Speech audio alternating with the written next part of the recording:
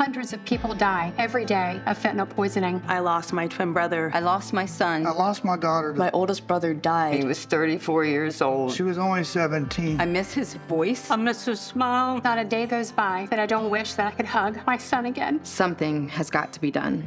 Fentanyl is a synthetic opioid that is highly addictive. It's 50 times more powerful than heroin. It is being distributed via social media and dark web.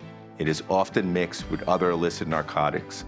Most people don't even know that they're taking it.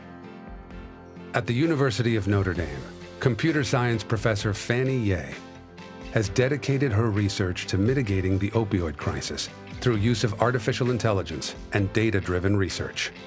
One of our goals is to develop artificial intelligence technologies and data-driven models to fight online opioid trafficking. AI technology is incredibly important to pursue these criminal networks in a space where they operate and ultimately hold them accountable.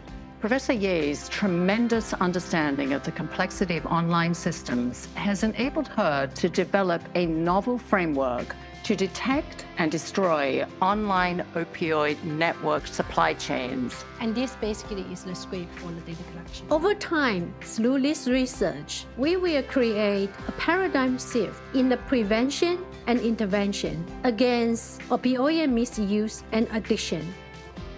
Here at Notre Dame, this perfectly aligns with our goals to conduct research with the aim of saving lives.